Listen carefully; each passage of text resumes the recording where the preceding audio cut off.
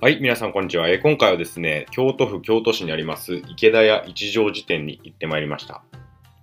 今回ちょっと京都旅行のついでに、このなんか有名な池田屋という二郎系ラーメンのお店気になって行ってまいりました。今回訪れたのは13時頃で、お昼のピークタイムを過ぎていたんで、まあ、あんまり待ち時間なしで入店することができましたね。普段はなんかめちゃめちゃ並ぶ店らしいです。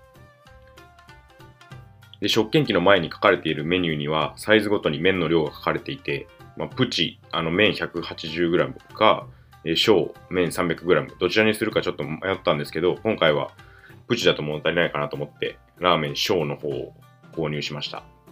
で、コップに水を入れて、おしぼりとレンゲとお箸を持ってカウンター席へ行くシステムですね。でカウンター上で待つこと10分ぐらいで着丼しました。で、このビジュアルがたまんないですよね。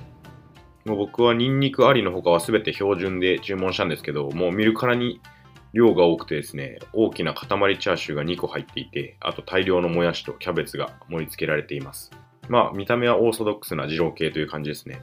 で、麺は少し固めに茹でられた極太の縮れ平打ち麺で少しゴワゴワとした食感の、まあ、二郎系に多いタイプの麺で、スープの味も良くて、すごい馴染んでいましたね。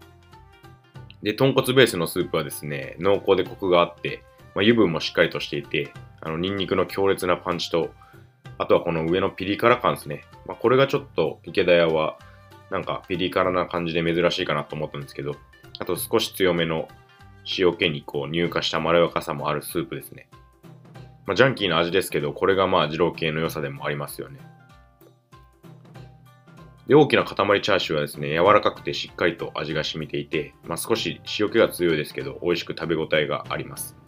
まあ、体育会系の人でもね、300g で満足できるぐらいの量は入ってるんで、まあ、おすすめですね。まあ、全体的にスープの完成度の高さを感じる二郎系ラーメンですので、まあ、二郎系が好きな方とか気になった方は、ぜひ一度足を運んでみてはいかがでしょうか。はい、ここからは早送りでお楽しみください。